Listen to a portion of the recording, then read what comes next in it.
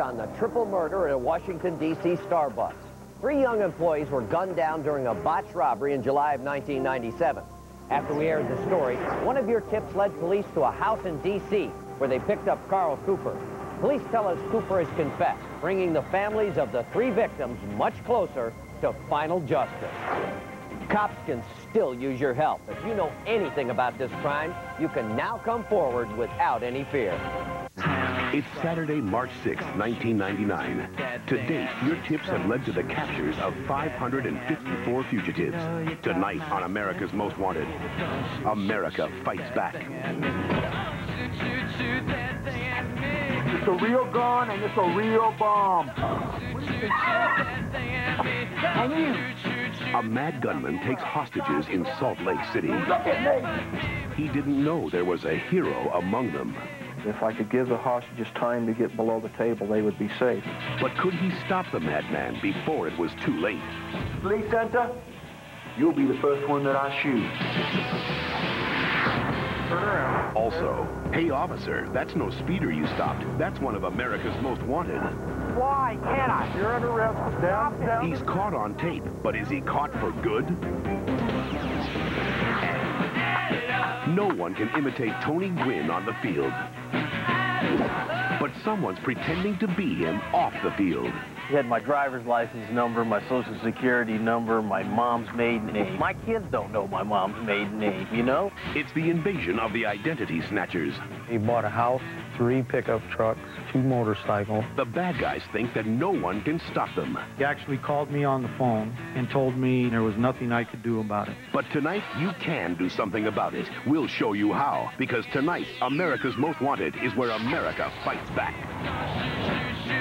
Now, from our Washington Crime Center, John Walsh. Good evening. Three women's lives are at stake tonight in our first breaking case. They went on a sightseeing adventure to Yosemite National Park and disappeared. And the chances of their safe return get worse each day.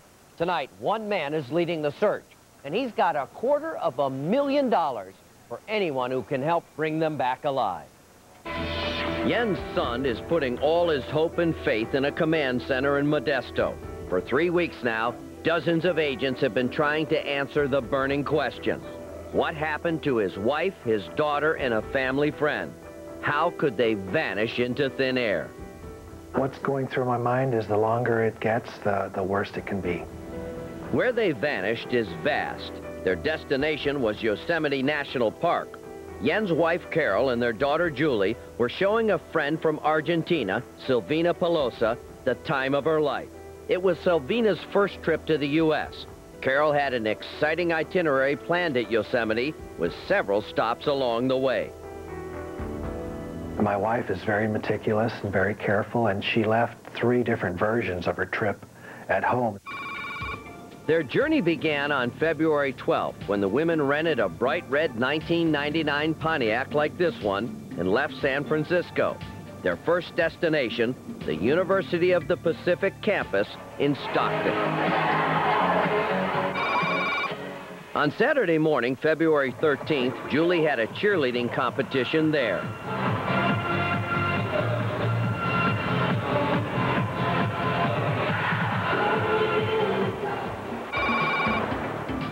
On Sunday, they went to Yosemite, staying at the Cedar Lodge there for two days. Monday night was the last time Jens spoke to his wife. She sounded fine. It was um, a good time. She said they'd already been in the valley. They were going to go in one more time. Tuesday morning, the women checked out. They had plans to rendezvous with Jens in San Francisco that evening, but they never showed. I first knew something was seriously wrong when I had not met Carol in San Francisco. With the park's rugged terrain, winding roads, and sheer drops, everyone feared that they may have had a tragic accident. Jens knew he couldn't just sit and wait, so he decided to go hunt for his family himself. I thought I was going to go up and find my wife. We were just worried sick. No, I'm just thinking, where would somebody take them where they wouldn't be seen by everybody? We've been asked, asking people to look for these car, this, this car for so long. For a brief moment, there was a spark of hope. Jens thought he spotted the car, but he was wrong. doesn't look shiny enough, does it? The search seemed futile, but then on Friday, February 19th, a major break in the case. The clue appeared. Not in Yosemite, but in the town of Modesto, more than an hour away. Investigators found Carol's wallet. There was no cash inside, only her credit cards. Sadly, the search team knew this was not a good sign. We don't believe it was lost there by the victims. Uh, somebody knows how that billfold got on the street. To us, that was an indicator that um, maybe there was foul play involved. It was a shock. You know, I'd, I'd heard it from Mr. Maddock before that it was unlikely that, that they'd be found alive. Uh, this whole thing is so unreal, it's, it's mind-boggling. For Jens, for Silvina's parents who have flown here from Argentina, and for all the searchers, there's only one hope, that someone watching tonight can break the case open. Remember, we're still looking for that red Pontiac Grand Prix. It has California tags 4BMV025. If you know anything about the disappearance of these three women, please call 1-800-CRIME-TV. Now, somebody must know something about that case, and remember, you can call anonymously. Please make that call. Now, we never profiled a guy named George Samuels, so when George Samuels got pulled over by police in Idaho, we didn't think much of it. We didn't make the connection, but fortunately, one of you did. Okay, turn around. Okay.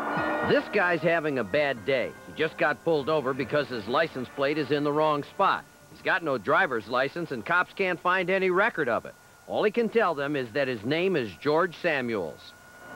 Hey, just turn around, George. It's George, right? Wrong. The cops don't know it, but this is Ronald Gould, one of America's most wanted. And getting this close to the law is making him pretty nervous. Do you have anything on you, needles or anything? Hell no. But he does have a wad of cash. How much money you got? Well, it's mine. How much have you got there? I got a couple thousand dollars. And a stash of dope. Have money back? No, you can't. Why? Why can't I? Need some backup. You're under arrest for dope, okay? This guy knows the jig is up, so he decides he's going to try to get away.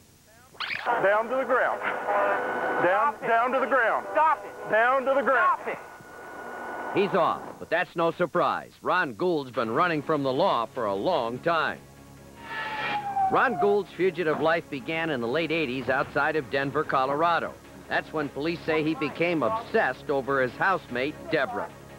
We are just friends. Deborah eventually moved out and moved on, but Gould couldn't. On September 7th, 1989, police say his obsession came to a head. He broke into her new boyfriend's apartment and unleashed his jealous rage on both of them. I jumped up out of bed and ran screaming out of the apartment. And at that point, I didn't know who it was. I just thought it was a burglar or somebody. And then I saw Ron walk slowly out of the apartment because he had lost his eyeglasses in the struggle. Miraculously, Deborah and her boyfriend survived the attack, but when cops went looking for Gould, he managed to give them the slip. Jump ahead eight years. Why can't I? That's when Gould, still on the run, had that close encounter with Sergeant Doug McFall in Idaho Falls, Idaho. He began to uh, pull away, resist, and eventually pulled so hard that it ripped his shirt, and he uh, ran northbound. After a brief foot chase, cops caught up with Gould. They took him straight to the Jefferson County Jail where he was fingerprinted and booked under his alias, George Samuels.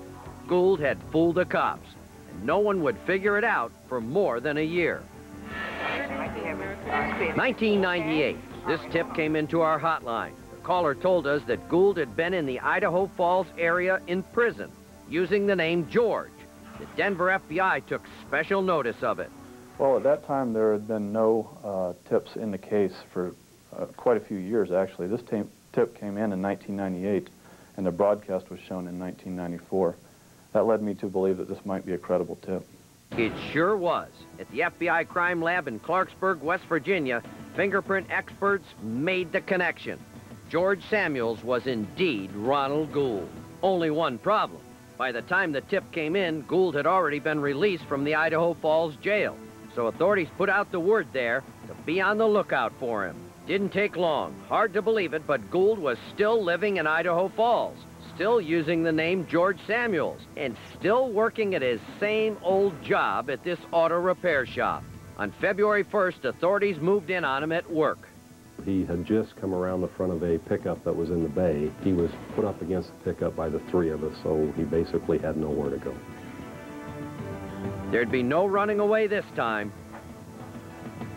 And for Deborah Owen, the woman he's charged with stabbing nearly to death, there will be no more running either.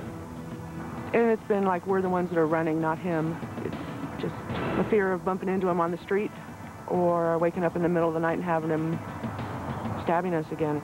If nothing else, at least he's off the streets now and he can't hurt someone else. Up next, a madman takes over a library. It's a real gun and it's a real bomb. For these hostages, it's a deadly situation with no way out until a hero cop finds his way in. Police center, you'll be the first one that I shoot. And later, what if there was another you out there? He opened the account using my good credit with my social security number, with my driver's license. One man tries to hunt them down. He had a cat and mouse game going on where he'd be one step ahead of us. But the family gets caught in a deadly game. If they realize that we're going after them, are they going to come after us? That's terrifying.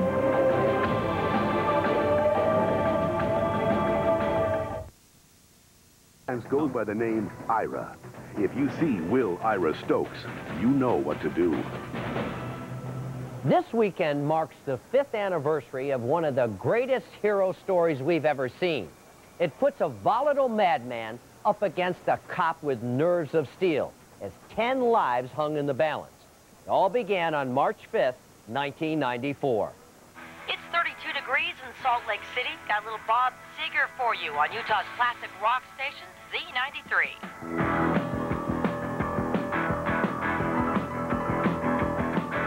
I Take my card and I stand in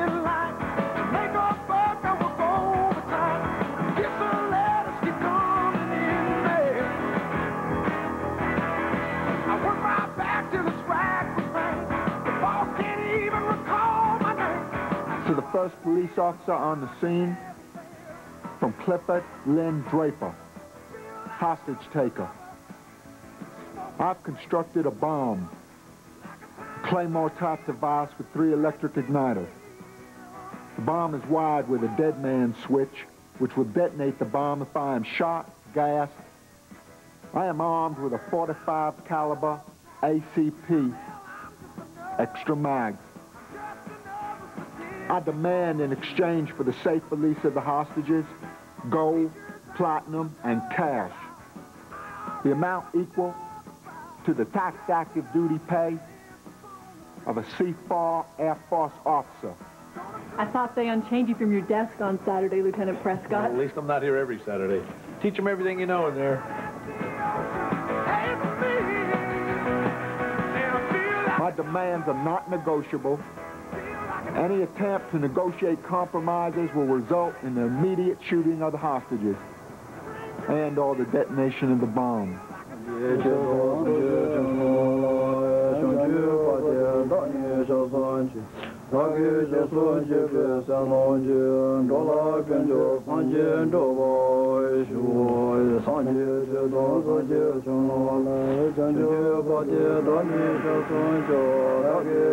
Hello, my name's Sue Allison, and I'm a new member with Toastmasters.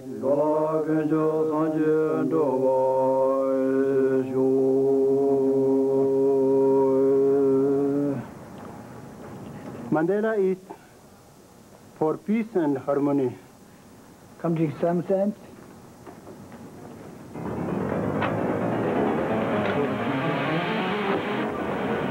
Don't anybody leave, don't anybody go anywhere. It's a real gun and it's a real bomb. Oh my God. It's got a gun. What you gonna do? You, I want you to give this to William Mortimer at the Deseret News. You tell him he needs to print it. You understand me? Yes, yes. Okay, let's go. Where's the library lady? Library lady, I need some hostages. You go in that room there, and you tell me how many people are inside. Move, move, move! Who else? Who else?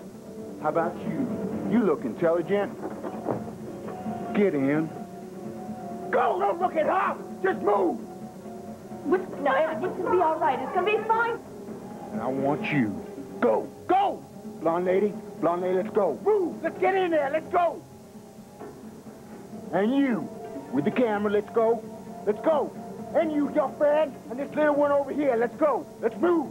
You look like a nice American couple right here. Let's go. Let's go up, out of the seat. Move it. Join them over there. Get over there. Everybody else, y'all have a nice life. Because mine's probably not going to last much longer. Go! All right, we're going inside. We're going inside. Sit, get in there. Don't look at me. Up against the wall. Where do you think you're going?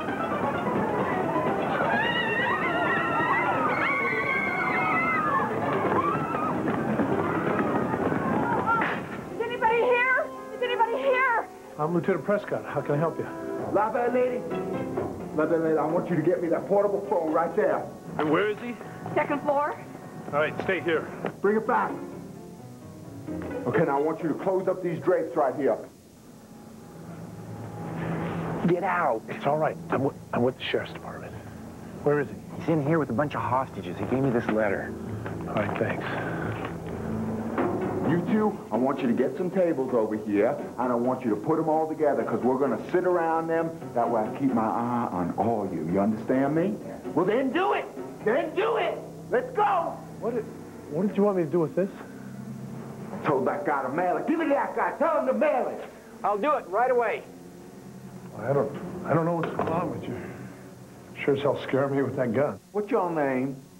Uh, Lloyd Prescott. Well, Mr. Prescott, if the police enter, you'll be the first one that I shoot. And then I'll blow this place up. Because they may be taking me to the morgue in little pieces, but I'm not going to jail. Anything else you need to know? No. Trapped in a room with a psychotic human bomb, the hostages could only pray for a miracle. The rest of this incredible story when we come back.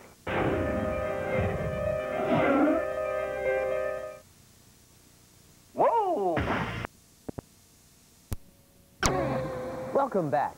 When we left our story, 10 people were being held hostage by a man who had wired himself with deadly explosives. Clifford Draper was a former Navy gunner's mate. He claimed his time in the service left him mentally unstable. Well, there he may have a point. But he demanded the government pay him for his disability, or the hostages would pay with their lives.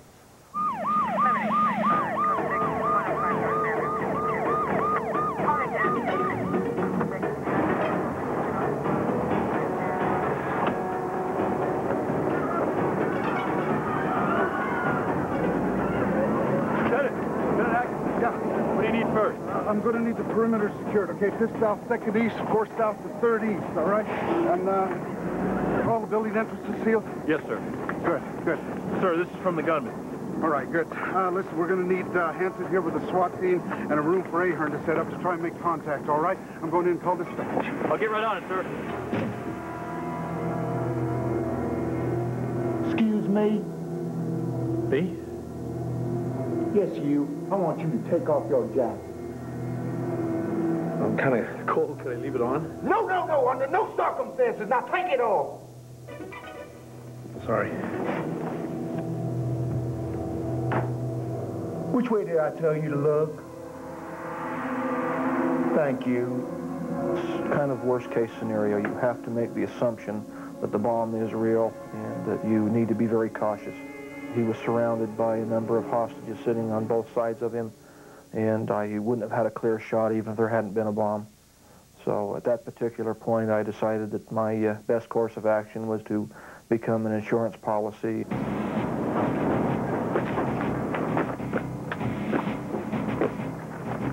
What do you know, Lee? Well, one, possibly two suspects, unknown number of hostages. Look, we got a bomb scenario that rules out a sniper. And my guys are here. We'll do whatever we can. Great. All right, here's the room. Dave, I want you to come down this hallway and lead the column on the left. Troy, come down on the right. Come down here and these windows up. He said he was with the sheriff's department. We may end up being in here at least 72 hours, and y'all may end up dead. So I think it would be a good idea if you wrote down your name, your phone number, and your next of kin. And I think we're going to start with...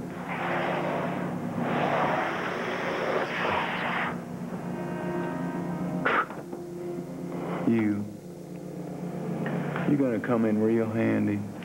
just seems so unreal because I put my wife's name next of kin, knowing she was not home to receive a phone call, but was outside the library. I wanted to tell her that I loved her, that I wanted to be with her, that I wanted this situation to end quickly and peacefully.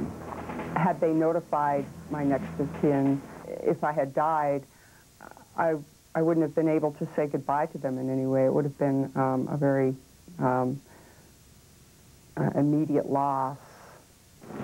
I wanted the uh, sheriff's office to know that I was in there and that if things really went bad, that I would be prepared to take some kind of action. Krista, I am so glad you're here. This man said he's being held hostage at the downtown library. He gave me a list of all the hostages' names and the name of the gunman, and he wants us to read it over the air. Let me talk to him. Hello? All I want to speak to Police Chief Ortega. He's a sensible man. You got to understand, I can't have the police rushing in here with assault weapons. I understand. Clifford, I'm Tricia Griffith, the program director of Z93. Do you like what we're playing right now? What you're playing right now is not good mood music. I'll tell you what, I'm dumping out of that right now. Is there anything I can play for you, Clifford? Some Lynyrd Skynyrd, Al Smith would be fine. The better stuff you don't hear on the radio that much. You understand me? Yes, that'll be no problem. Now, I want to go on the air live with my demands. Put me on the air. You hear me? I suggest you take me seriously since I'm the one with the bomb here. Clifford, the button to put you on the air is broken, and our engineer's out of town. I, I can't put you on the air. Well, you got 72 hours to fix it, or else everyone here dies. Hang up the phone. Hang up the phone now and sit in the chair. I was so afraid to put him on the air. And I- I'm so glad he didn't know how radio works, because if, if he didn't buy my bluff, I, I don't know what he would have done. How close are you to finding the extension he's calling from in here? Uh, we're narrowing it down. Uh, Z93 just read a list of the hostages. Uh, this guy from the sheriff's department, his name's Lloyd Prescott. How well do you know him? Sure. Yeah, we came on the force 20 years ago together. He's one of our defense tactical instructors. Yeah, well, question is, is how good is he on the offense?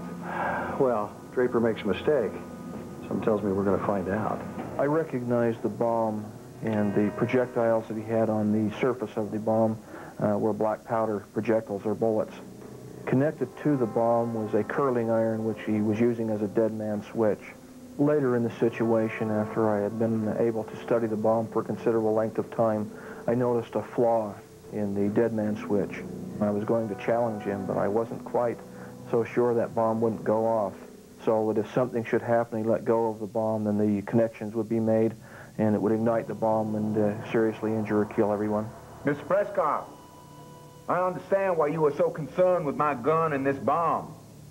But you were making me nervous. And I'm sure all these people here, they do not want me to be nervous. Neither do I, Mr. Draper. Mm-hmm. I had no idea Lieutenant Prescott was a police officer, and he was uh, really staring down Draper in a way. And it, that kind of made me a little nervous. This is Tom Hansen reporting live. We are outside the downtown library where for the past two hours a gunman has held an undetermined number of people hostage. We believe that number could be as high as a dozen people. What's wrong with you? I'm a diabetic, and I need five shots of insulin a day. So take a shot. I didn't bring my insulin kit today because I didn't think I'd be in the library for more than an hour. You want to jeopardize this whole group here with your condition? She's cold. Can I give her my jacket? You got a discipline problem with your eyes, lady? I told you through the wall.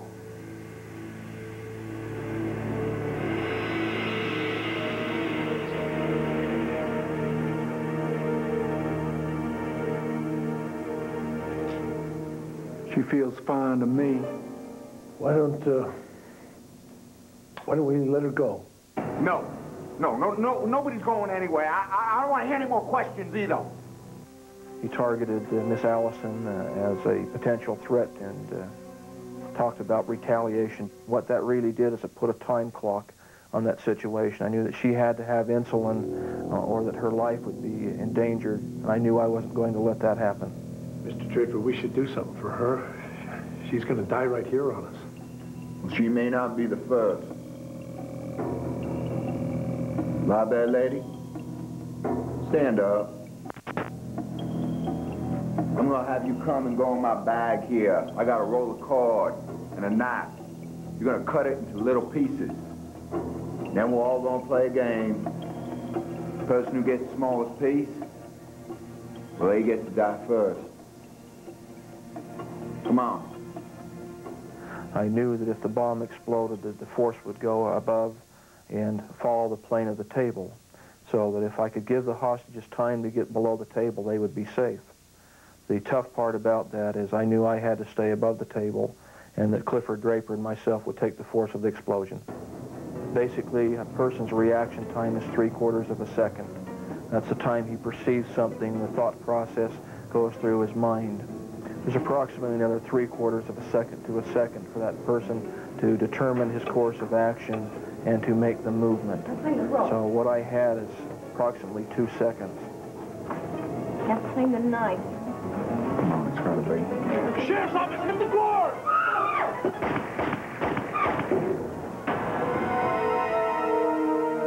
Move and I'll kill you. You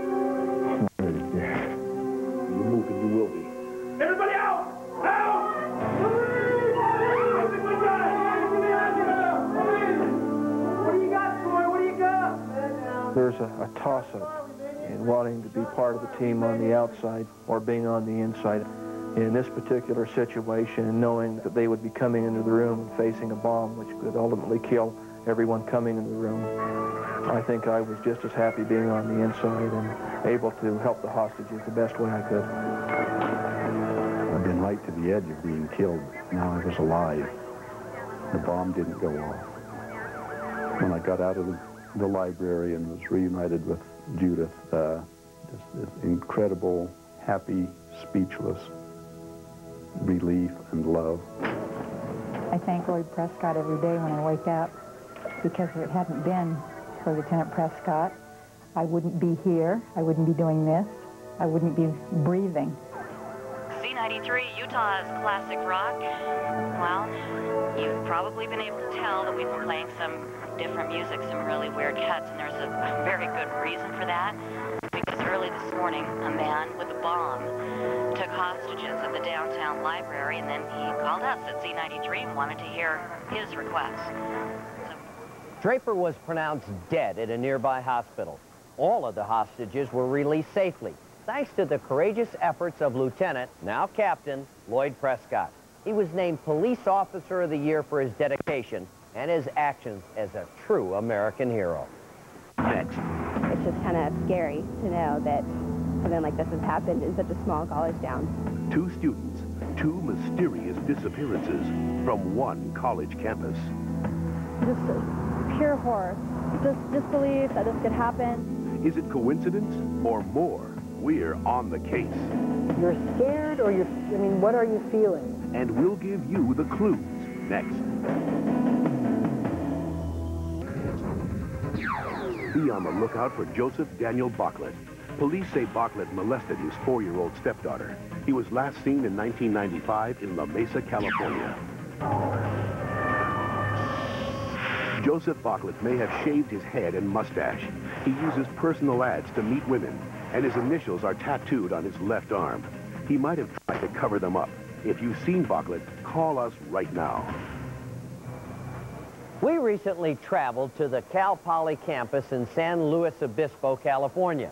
When we got there, some of the students were torn up over an unsolved crime that's bringing back some haunting memories. Arlena Nozizwe explains.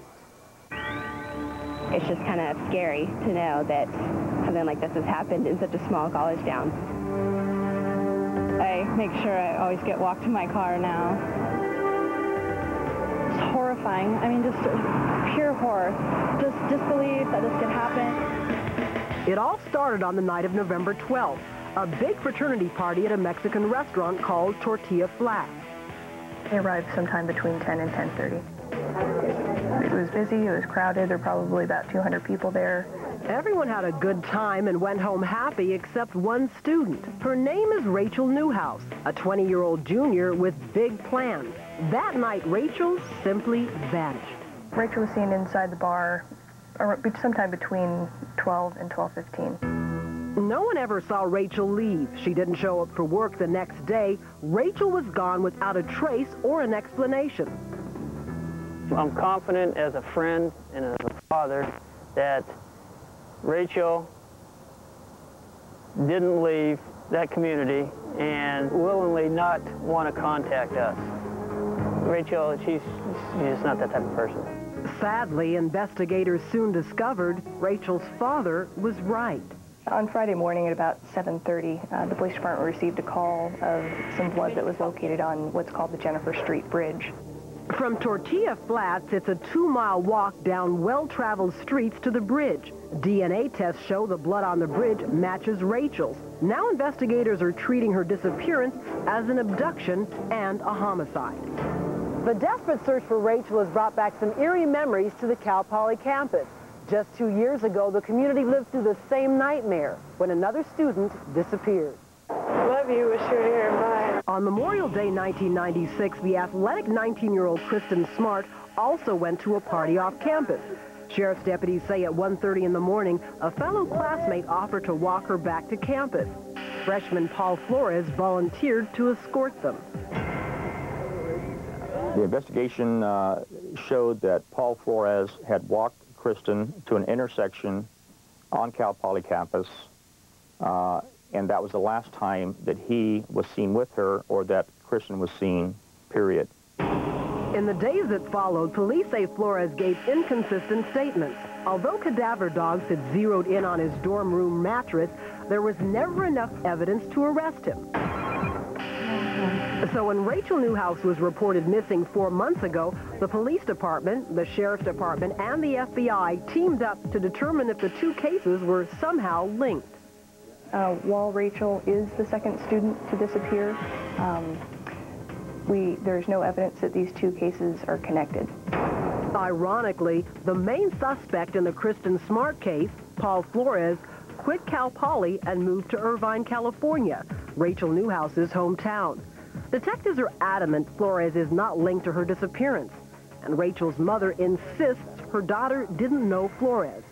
I just think it's an unfortunate coincidence that it happened to be two students from the same location. For students I spoke with here in San Luis Obispo, the coincidence has created overwhelming pain and awareness on this college campus. But how are you different now? Do you go to off-campus parties and not think about it? Always go with friends. Try to stay with group, at least with guys. I don't do downtown that much. I would never walk home by myself. A simple town, you, you wouldn't think this would happen in such a quiet town. Yeah, I think I don't know. It's been really hard for people to like feel comfortable afterward. Like when Kristen was gone, it was like that was a huge deal. And now that it's like the second person, it becomes like so much more intense because it's like two girls, not one. And like, is this going to happen all the time? Can we go out together? You're scared, or you're? I mean, what are you feeling? I grew up with Rachel from high school. I miss her. It's so scary because that could have been anybody. And just to randomly have that happen it just shows how we're not invincible. Tonight, let's try and help these students put their fears to rest. If you've seen Rachel Newhouse or Kristen Smart or know anything about their mysterious disappearances, please call 1-800-CRIME-TV. Coming up next. That's not a happy camper. Tony Gwynn makes his living playing Major League Baseball, but someone else made his living playing Tony Gwynn. People who are in that business, they can get that information like that. And so, uh, and that's scary. thieves stealing people's identities, and you could... The Co. disappeared on February 26 in Fort Lauderdale, Florida. The car was found in a Winn-Dixie parking lot. Call if you can help. Where in the world is Elaine Parent? She's the chameleon authorities say assumed the identity of a murdered Florida woman. Parent is a globe-trotting fugitive who loves Florida. Last week, we received more than 50 tips, but we still need the one that will bring her in. Elaine Parent has a lazy right eyelid, uses asthma medication, and is into numerology. Call our number if you've seen her. Cops suspect Elaine Parent got to know her victims personally before she stole their identities. But most ID thieves are so slick, you'd never know who they are until it's too late. It's frightening. Someone steals your social security number, your driver's license number, and your date of birth. And bam, without your knowledge, racks up thousands of dollars of debt in your name. Well, until recently, there was nothing you could do about it. But now, there are people who are fighting back.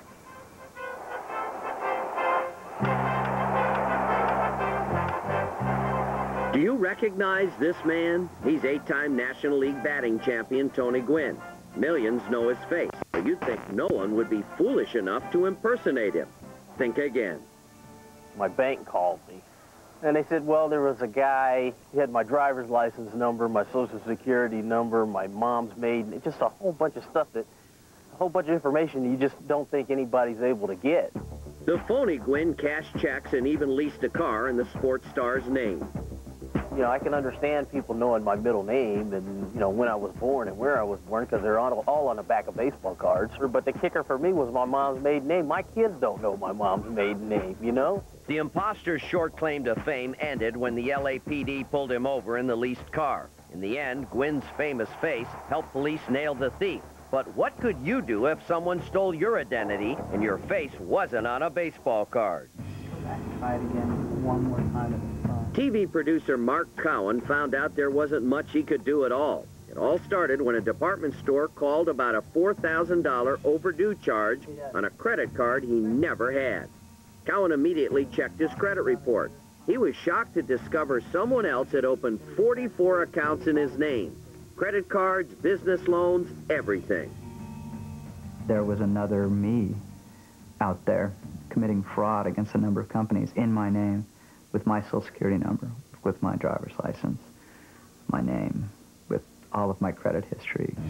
The irony, Cowan's credit got so messed up, he couldn't get a loan himself, couldn't buy a house, couldn't even get a Blockbuster card. I called several lawyers that I knew, and without exaggeration, in the next 24 to 48 hours, I got six or seven phone calls back from lawyers who all went, yeah, there's no law. It, I, we, I don't even know what to tell you. So Cowan went on the offensive. He hired private investigator Harry Thielen to track down the imposter.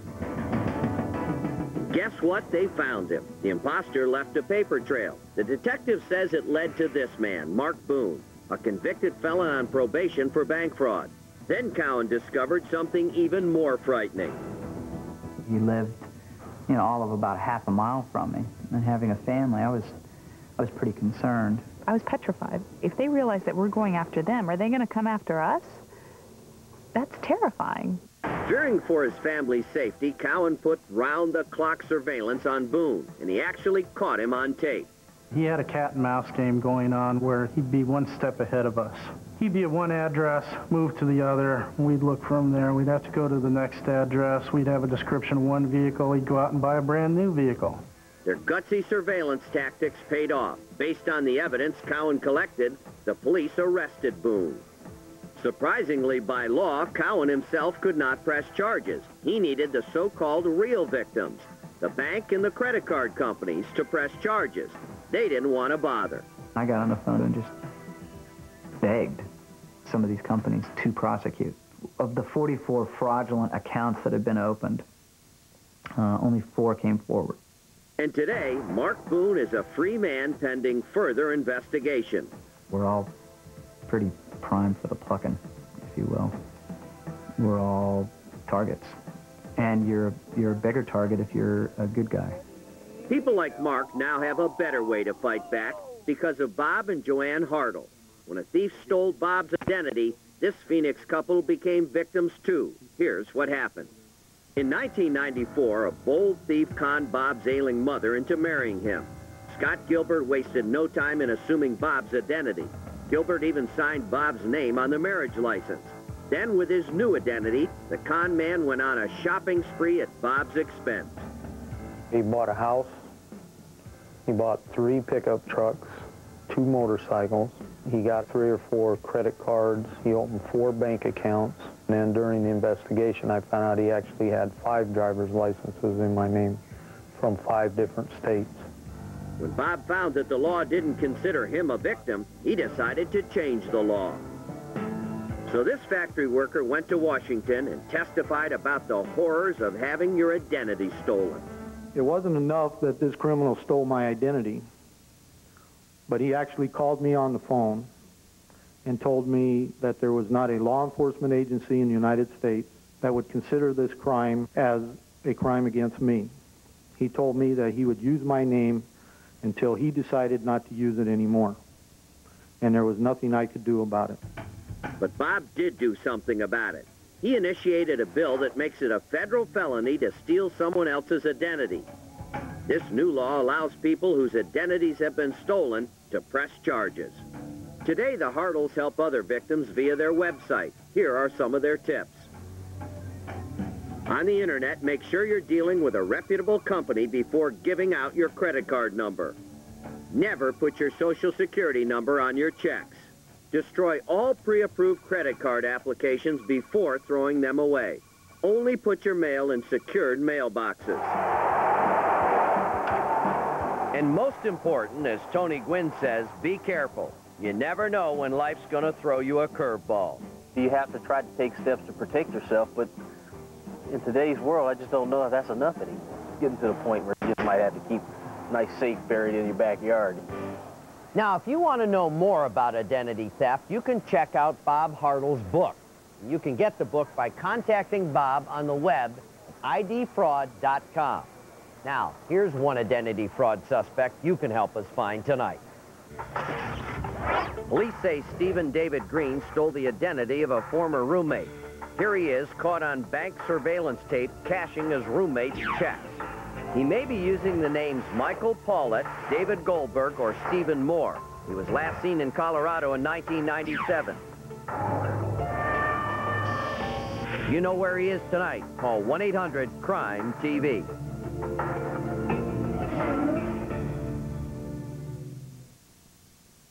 Next Tonight's cases. Carole Sund has disappeared near Yosemite National Park, along with her 15-year-old daughter, Juli Sund, and family friend, 16-year-old Silvina Pelosso. Convicted child molester Will Stokes has escaped from a prison in Alabama. Cops say accused molester Joseph Bachlet was last seen four years ago in La Mesa, California. Rachel Newhouse disappeared from the Cal Poly campus in November of last year. In an unrelated case, Cal Poly student Kristen Smart disappeared from the same campus in 1996. And detectives in Florida believe Elaine Parent killed a woman and stole her identity. I'm John Walsh. Thanks a lot for watching. And remember,